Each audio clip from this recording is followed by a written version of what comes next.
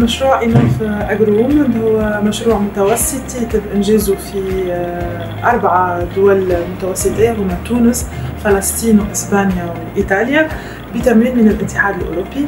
والأولوية متاعه هي آه، الإدماج الاجتماعي للنساء في الوسط آه، الريفي في قطاع الأغذية الزراعية. طويلة شوية العملية.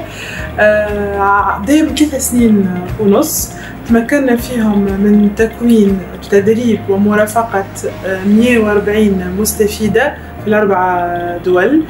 كل واحدة فيهم تلقات 610 ساعة تدريبية خاصة بها مع حصص مرافقة وحصص أشغال تطبيقية في المؤسسات والشركات اللي في القطاع هذا. 52 سيدة وشابة تحصلوا على منحة المشروع وتمكنوا من خلالها من بعث مشاريعهم الخاصة في قطاع الأغذية الزراعية. في تونس عندنا ستة مشاريع فيها مشاريع فردية ومشاريع جماعية فلسطين أكثر من ستة. إيطاليا ثلاثة وإسبانيا ستة مشاريع أيضا.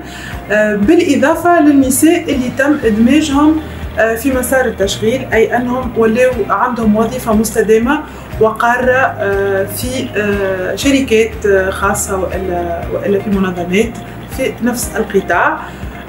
يعني اليوم نجم نكونوا كان فرحانين بالندوة الختامية نتاعنا اللي نقدموا فيها في نتائج هذم وغيرهم بما توصلنا إليه من من مخرجات ونتائج آه علاش؟ لأن في البعض منها تجاوزنا الأهداف اللي كانت مرسومة آه في بداية المشروع. وعلاش؟ أيضا لأنه تزامن انطلاق المشروع مع أزمة كوفيد آه في في 2020 وإحنا بدينا في ديسمبر 2019 donc كنا من الأول خايفين ماناش عارفين خاصة اللي النساء المستهدفات في المشروع هذايا في الوسط الريفي مثلا في تونس آه، بالتحديد مش الكل عندهم لاكسي للانترنت باش ينجموا يقراو عن بعد ولا باش نجموا نقوموا بالعمل اللي كان المفروض نعملوه على الميدان عن بعد.